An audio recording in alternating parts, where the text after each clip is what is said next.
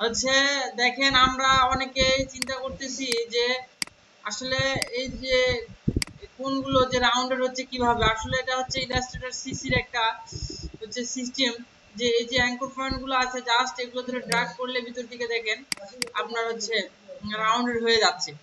দেন একই জিনিস, আমরা যদি চাই যে এই কোনটা জাস্ট এই কোন আর এই কোন রাউন্ডেড করব, দুই কোণ ঠিক থাকবে জাস্ট দুই কোণ ধরে টান দেন, দেখেন দুটোই কিন্তু রাউন্ডেড হয়ে গেছে। তো আমি এটা আপনাদের বোঝাতে চাচ্ছিলাম যে অনেকে আপনারা বলতেছেন, ভাই, এটা কীভাবে সম্ভব? এটা কীভাবে সম্ভব? এজন্য আমার এই ভিডিওটা, এটা হচ্ছে জাস্ট ইলাস্ট্রেটর সিসির জন্য।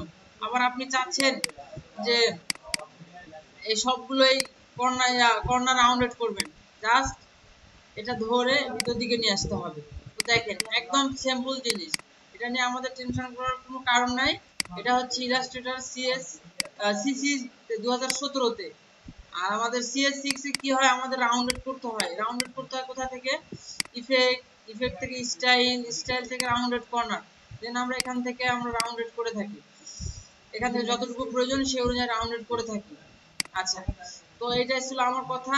আর হচ্ছে এখন আপডেট যে সিসি আসতেছে, যদি আপনারা সকলে ক্র্যাক ভার্সন পান ডাউনলোড করে নিন। কাজ করে অনেক মজা পাবেন ভালো লাগবে।